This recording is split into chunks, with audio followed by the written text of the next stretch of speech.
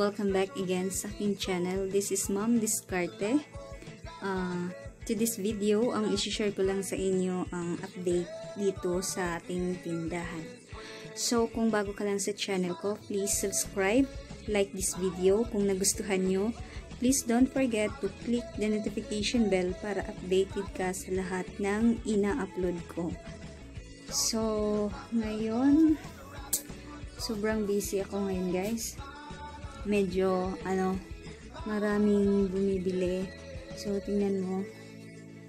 Uh, 9 o'clock na 9 p.m 9 uh, 9 in the morning uh, know in the evening.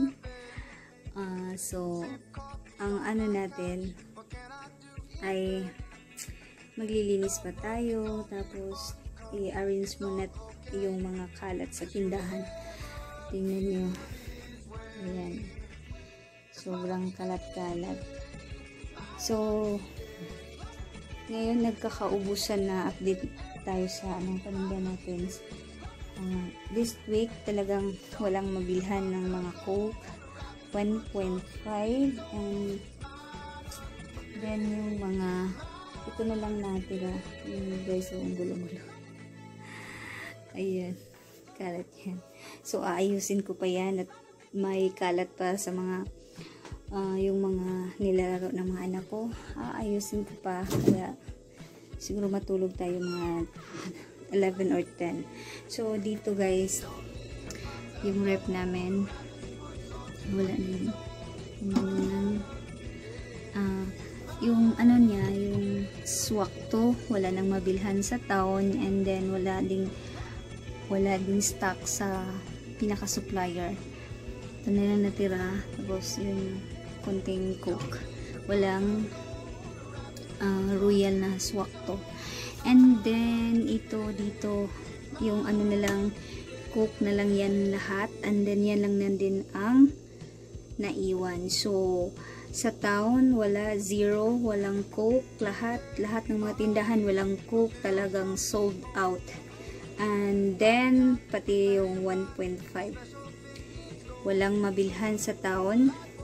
Kahit sa panel, panel wala. Zero. Kahit sa pinakamalaking grocery store, yung cash on delivery sa Alturas, wala din silang stock. Kaya, ayun, sobrang mabenta kasi summer, ang daming uh, nauhaw sayang yung pag wala tayong ano, sayang naman kasi yung mga tao yan lang hinahanap coke so close na natin. At ah, isa pa yung wala sa akin yung uh, yung pansit canton guys. Na yan zero na din. Yung mga ano natin marami pa naman. So kaka-deliver lang last week. And then, andito, yan, walang 200 ml. Yung natira lang dito is yung maliliit. Saka yung silver swan, meron pa naman. Yan. And then, sa ano naman, sa coffee, and pa naman yung ano natin, yung uh, yung stocks natin. Ito na yung So, sa, sa panahon ng ECQ, yung sobrang mabenta guys sa akin dito, yung load. Halos uh, araw-araw tag ano yung mga tao, mga 10 pataas nagpapaload. Iba yung globe, iba yung uh, smart. Talagang grabe yung load. Laging nauubos talaga. So, sa isang uh, one week siguro, siguro mag ano ako sa load. Papaload ako mga sa Globe 5,000 tsaka uh, sa Smart medyo ano yung Smart pero kasi yung Smart ang uh, niloload nila yung Facebook 10 and then yung uh, UTP yun kadalasan kaya medyo mababa yung ano niya mababa yung ipakita ko sa iyo yung load nandun pala sa ano Ayan, yung mga kalat ng anak ko. Ayan, kailangan lilisin pa yan. So, sa smart pala guys, ah, yung laging naglo-load doon is Facebook din at saka UTP. So, medyo mababa yung ano niya. Mga one week mauubos yung 2,000 siguro or 1,500. Yeah, 1,500 to 2,000. Yan lang ang mauubos. Kasi sa sa Glow, bakit mas madali maubos? Kasi may ano, yung ginagamit ng Wi-Fi 200, yung home surf 199, yan laging may naglo-load yan at yan din ang ginagamit ko yung mga uh, home watch 199 kaya mabilisan yung ano niya mabilis maubos yung uh, niloload natin. And then kaya pag mag-start ka talaga ng sari-sari store uh, dapat meron ka talagang e-loader yan ang dapat mo unahin e-loader tsaka yung daily needs ng mga tao Tsaka yung egg, ano lang yung egg. Ayan na lang yung natira. Ayan. Tsaka yung biscuit. Pinitak pa na yung biscuit natin. And then, ano pa ba? So, sa coffee. Uh, sayang guys yung ano natin, yung soft drinks talagang walang wala. Sayang ang daming naghahanap ng soft drinks kasi nga sobrang mainit ngayon. And then, pag summer talaga, yan talaga ang uh, mabibenta. And then, dito sa amin, eh, May, uh, May 14, fiesta dito sa amin. So, kaya yung iba, nag-ano na sila, nag, uh, anong tawag doon, gusto na nilang mag-preserve. Pero paano naman i-reserve natin na wala namang stocks. Yan sa baba guys, ang gulo. Kaya ayusin ko pa to kahit gabi na ganyan talaga ang madiskarte. Para tayo walang pahinga na dito. Ayan kakatapos ko lang maghugas ng mga pinggan.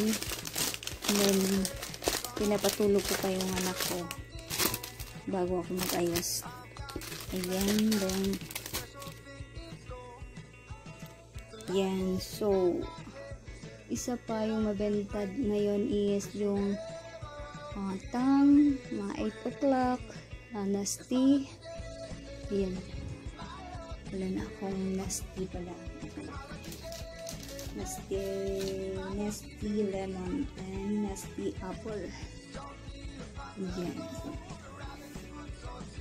Uh, ano pala guys, na ngayon ang dami talaga naghanap ng mga anong tawag doon, yung mga chinelas pala, yung sleeper. Meron akong tinda, pero ano na yun, uh, wala nang, wala nang stocks. Ngayon, talagang naubos siya kasi ang daming naghahanap na uh, next tapos dito mag-aayos pa ako Tingnan niyo guys, ganyan. Ayusin ko pa yan. Ayan. Yung ano ng mga anak ko nilalaro. Pag maglinis ka sa kusina, punta sila sa sala at dito na magkalat. Ganyan ang buhay nanay. Yeah. Kaway-kaway dyan sa nakarelate. So, aayusin ko pa yan mamaya. And then, ayan, yung ano dito. Ayan. Meron akong stock guys. Ito. Ayan, Pepsi na lang natira. Yan po, wala na. Empty na. Saka, ano pala, yung ito yung ano dito. Tapos yan para sa manok. At iwan ko na lang ha kung bakit walang stock ng ano 1.5 tsaka yung yung litro ng coke. Talagang uh, pinuntuhan ng kapatid ko doon sa town. Talagang iniikot niya lahat ng tindahan. Talagang wala wala siyang nadala. And then Um, siguro, baka next week meron na. Sana meron na kasi nga ah, fiesta na. Dami ah, kahit ano lang naman guys kahit yung mga tao dito hindi naman bawal naman talaga mag ano mag-celebrate pero yung iba naman sa atin kasi parang ano lang parang handa ng konti. So syempre kailangan natin ng usay nga na na pangpahilis ayan guys. At ito pala guys yung stick ng Nescafe. Mabenta din to. Yan so hanggang dito na lang guys yung update ko sa aking tindahan. So mag start na akong maglinis and then matulog na. So see you in my next vlog. Thank you for watching